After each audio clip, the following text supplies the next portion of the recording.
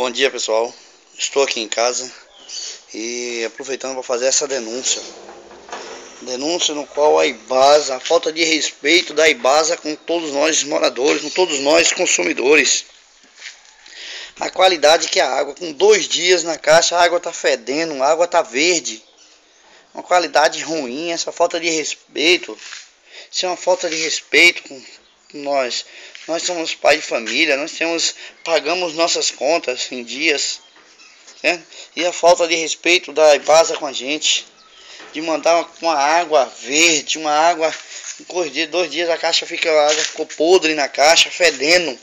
O mau cheiro é terrível. Eu tô aqui mostrando vocês a caixa d'água, a qualidade aqui. Olha a caixa d'água, para não dizer que é mentira, certo?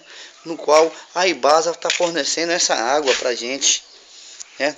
As outras vezes não, foi veio água, água, mas dessa última vez aí a qualidade da água foi uma água ruim, não sei de onde ele pegou essa água porque foi péssima essa qualidade dessa água.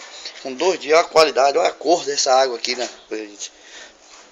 Água com dois dias na caixa fica podre, apodrecendo, água fedendo dessa, certo? E ainda tem coragem de mandar a conta para que a gente possa pagar, para a gente pagar. Isso é uma falta de respeito. Isso é uma falta de respeito da Ibasa com nós moradores, com nós consumidores, certo? Uma cidade com nível de Tanhaçu, uma cidade maravilhosa, passar por uma situação dessa, essa falta de respeito, nós não temos uma barragem que presta.